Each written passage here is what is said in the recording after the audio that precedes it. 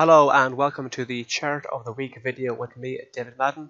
Today's date is Wednesday, the 19th of December 2018, and the time has just gone 9:10 GMT.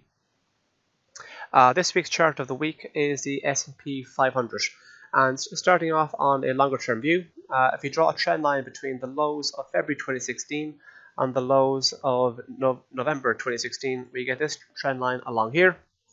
And as we can see, back in October and in November, this trend line was well respected. We saw on a couple of occasions in recent months where the, where the, market bounced off of that trend line and it actually uh, was clearly well respected. But as you can see here in December, we managed to kind of dance around it on a few occasions and now it is firmly well below that trend line. So it's possible that the, the previous trendline support could now act as trendline resistance, and while we, we remain below that trendline, we could see further losses on the S&P 500.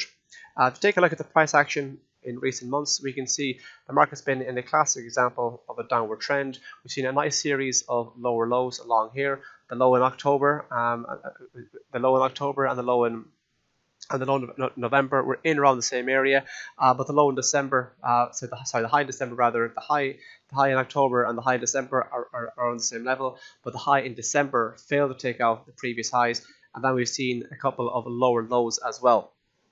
Taking a look at the MACD indicator, the MACD histogram, we can see as the market's moving lower, we can see a steady increase in negative momentum. So as the underlying market is, is, is being driven lower, we can see an increase in momentum. So the a, the momentum is clearly with the sellers, with the bulls, so with the bears at the moment. If you look to um, continue to push on lower from here, we could be looking at targeting the 2,500 area. It's a big psychological number. Uh, and if we go below that, we could be looking heading down towards this region here, uh, previous resistance in around the 2,491 area. Now, if you do see any any bounce back uh, in the S&P, resistance might come into play in around the 2,600 area. We saw a bit of consolidation uh, in, that, in that area recently. Also, it's a big psychological number. Uh, and if you go beyond 2,600, um, this previous trendline support may act as trendline resistance. And that would potentially come into play in around the 2645 region. And if we go beyond that, we could be looking heading towards the kind of psychologically important 2700 mark. It's only really if you kind of take out the December high and and head north of 2,800, well then we actually could then we become more confident that the recent downward trend has come to an end. Now, if you are going to be trading the S&P 500, it is worth noting that um, later on um, this evening we have the interest rate decision from the Fed Reserve. That will be announced at 1900 GMT, the interest rate decision itself. And according to FedWatch, there is a 69% chance of a 0.25% interest rate hike and at 1930 half an hour, GMT, half an hour after the interest rate decision, we will then ha have the actual statement, and it's likely that, that the statement is going to be the highlight of the actual update. I suspect we could we could have a dovish hike from the Federal Reserve.